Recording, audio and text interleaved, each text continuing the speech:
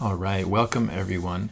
In this short video, I'm going to give a brief tutorial on how you can begin typing Sanskrit language in transliteration in Roman characters using diacritics.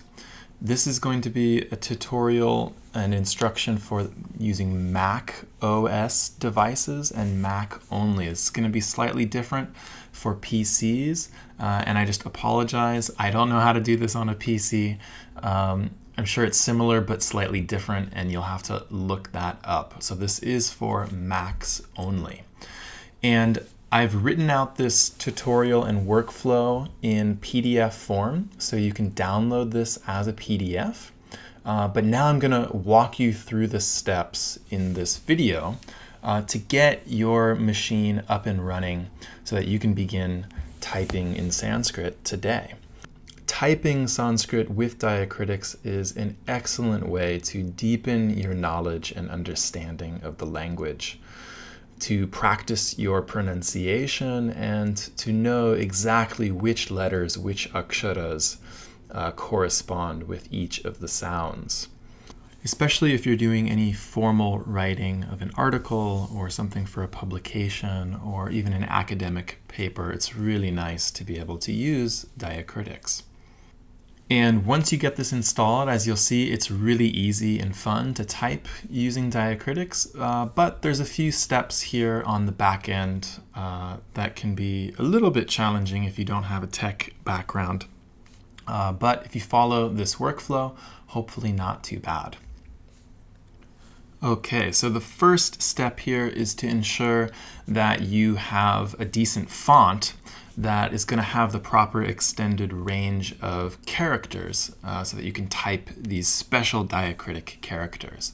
Now many different fonts here will work just fine and probably there's a lot of fonts that you already have installed on your machine that will be just fine but it's highly recommended that you use what's called a Unicode font for typing Sanskrit in transliteration. And a few of my favorites include Gentium, Athelas, Palatino, and Tex Gyre Pagella. I don't know if I'm saying those correctly. Athelas and Palatino, I'm actually not 100% sure if those are technically Unicode fonts. The other two are uh, but they tend to work very well with diacritics. This PDF document that you see here actually was typeset using Palatino. I've included all four of those fonts for you in a very handy font package, which you can download right here in the PDF. And I've also got the link below this video where you can download a compressed zip file of this font package. So the first thing you'll want to do is download that.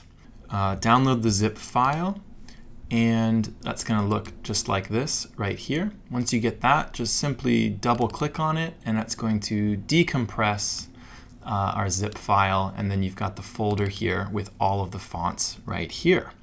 So to install these fonts, um, you've got these TTC or uh, inside here TTF files. Both of those file types are fine.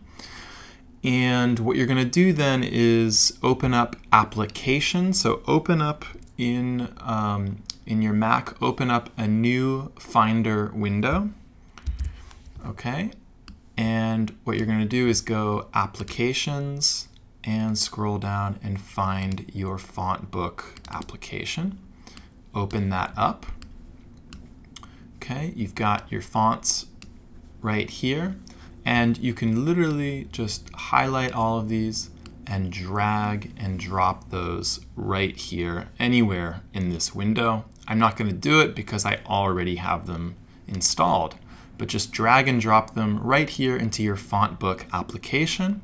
And that's it, you're good to go. You've got your new fonts installed. Okay, so that's step one, install your Unicode fonts. I'm going to close this up now. Okay, so once we've got our fonts ready to go, step two is to install a keyboard layout that's going to allow us to type the proper diacritic characters using one of those fonts. So there's a few different keyboard layouts that can accomplish this, but I recommend what's called the Easy Unicode keyboard, which was developed by Toshiya Unebe.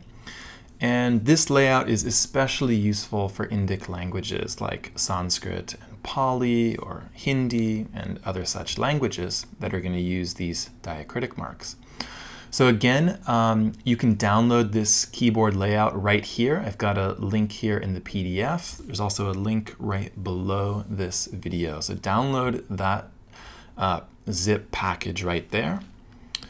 And then you're gonna pull it up. It's gonna be this file right here. Again, double click, unzip that compressed file, and you'll see you've got your layout, your keyboard layout files right here. Um, if you click here, you've got some README documents that Toshiya has put together, and there's some helpful stuff in there if you want to read more about this particular keyboard. Uh, but this is the file in particular that, uh, that we want. So now we need to install this file within our Mac's keyboard layout library.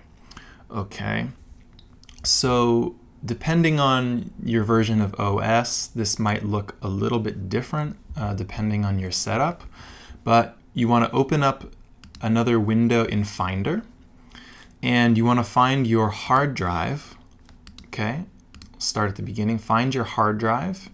You're then going to either click System and then Library, or for me, it's just direct to Library okay? And once you have library open, you're then gonna scroll down to keyboard layouts.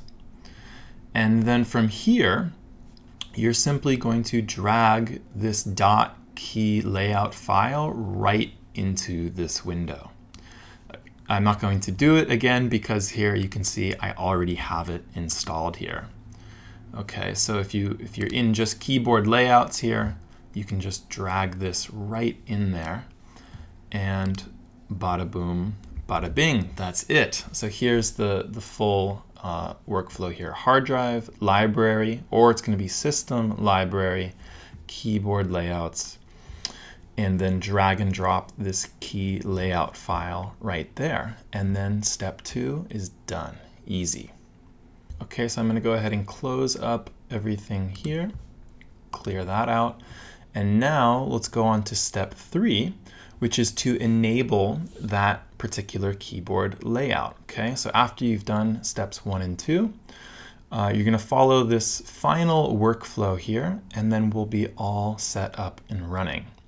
Okay, so to begin here, you're gonna go to click on this little apple and go to System Preferences. You're then going to click on what for me is language and region. For some of you, this might say international. Okay, so click on that. And then here, you're going to click on keyboard preferences. And then you want to make sure that you're on input sources here. Okay, and we're now going to add a new input source. We're going to add that easy Unicode uh, keyboard layout. So to do that, you're going to hit this plus button to add a new source here. And you can search for it down here, or you can scroll down all the way and click on others. And if you had dragged that keyboard layout successfully into that library, it should show up right here as easy Unicode. So select that and go ahead and click add. And right there, boom, you've added the easy Unicode keyboard layout. Okay, now I would recommend here, step six, uh, I would recommend if you click keyboard here, make sure that this is selected, show keyboard and emoji viewers in menu bar. Okay, this toggling this on and off is going to allow this right here, show keyboard viewer to toggle on and off. And you'll see why in just a minute, why that's really helpful, especially in the beginning to have that enabled. Okay, so the next thing that we need to do now, we're all set up, we're all installed, but how do we use it? You simply click this international flag up here, this drop down menu, and it's gonna show you your different keyboard layouts that you have installed and that are currently active as these input sources right here, right? So you click that and then simply click Easy Unicode and now that keyboard layout is active. Now to see which keys you're able to use, you'll want to then go back and click Show Keyboard Viewer. But again, you have to make sure that this keyboard, that this uh, checkbox has been clicked, is toggled, and then you can click Show Keyboard Viewer, and then it's going to pop up uh, kind of a visual view of your keyboard layout. Now that might not look any different right now, and that's because in order to type in Sanskrit Diacritics, all you have to do is click this button right here, the option button. And if you hold that down, now you see here uh, your entire range of diacritic keys that you can type with. So to type in diacritics, you're now going to hold down option and in combination press all of those other keys. Okay, so let's test this out now. You can open up your favorite text editing software. Uh, I like Apple's Pages. Open up a blank document. Make it a little bit bigger here so you can see. And let me move this. You can keep this uh, keyboard window open so that you can actually see, okay? And you can, if you hold down Option, it's going to give you uh, those characters. So, Om Namaha Shivaya. See? Om Ganapataye Namaha. Atman Shakti. Okay. If you want to type using capital letters, you do the same thing. You hold Option, but you'll also then simultaneously hold down the Shift button, and it'll give you those diacritics with capital letters if you want to type a proper name. And so on. All right, well that's it. That's how you set up fonts and install keyboard layouts on your Mac machines and how you can begin typing transliterated Sanskrit using diacritics immediately. So I hope that you enjoyed that and you're able to figure it out on your own device and that you have fun typing in Sanskrit. All right. Thanks so much, everyone. Take care.